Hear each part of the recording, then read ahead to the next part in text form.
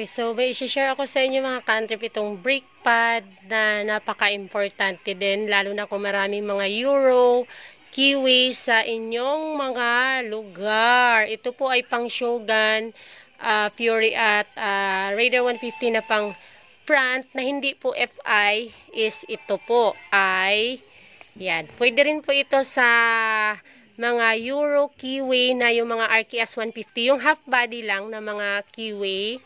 Uh, pero hindi po ito yung ano, hindi po ito rin yung Kiwi na Jet 100. Ito yung pang ano ha, Kiwi na RKS yung 150. Yung pang 100 naman is ganito. Ganitong itsura niya, pero pabaliktad siya. Pabaliktad yung ganito niya. Oh, itong may sungay niya. So, ayan, Shogun at Fury at Raider 150 front yan siya. Ito naman yung pang Jet 100 na Euro Kiwi. Ito siya. Ito, yung pang SYM din siya. Ayan. So, ito naman yung mga pang SYM at ito din yung mga pang Euro na mga, yung mga Jet 100 lang, yung 100 na mga half body. Magkano ka ba dyan? I want to sama. Sama sa... Oh, bakit? Ano ba ito? What's this? What's brake this? pad. Ha? Brake pad. Thank you. Very good. Brake pad. So, ayun, gustong gusto talaga mag-vlog siya kasi nag-display ng mga brake pads na yan eh. Siya nag-display. Very good ah. Ano yung mga yan?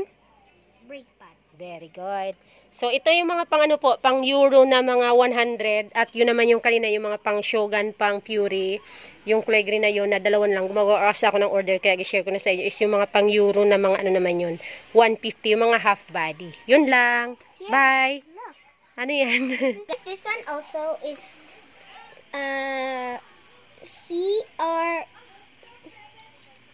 ah, Tony RB and CRF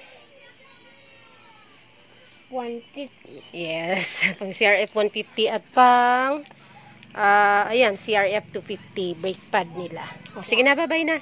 Bye bye.